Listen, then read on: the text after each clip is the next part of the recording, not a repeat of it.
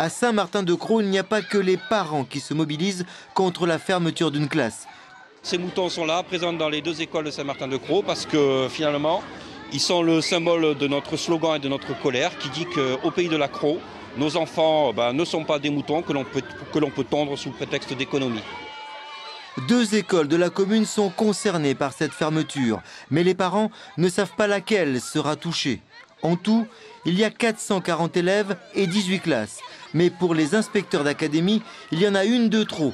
Ils ont fixé une moyenne de 26 élèves par classe. Ils partent des effectifs qui sont calculés, des effectifs donc, du mois de novembre 2011, pour faire euh, une estimation de ce qui sera la rentrée 2012. Et sachant qu'à Saint-Martin-de-Croix, un certain nombre de logements, un grand nombre de logements sont construits de part et d'autre de la commune, eh forcément les effectifs n'iront pas à la baisse, mais plutôt à la hausse.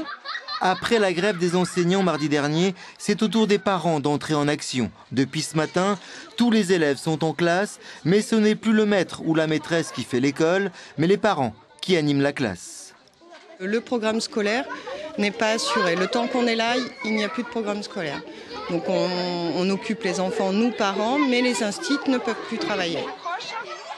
Pour garder leur classe, parents et enseignants manifesteront demain devant l'inspection académique à Marseille. Une manifestation qui réunira toutes les écoles concernées.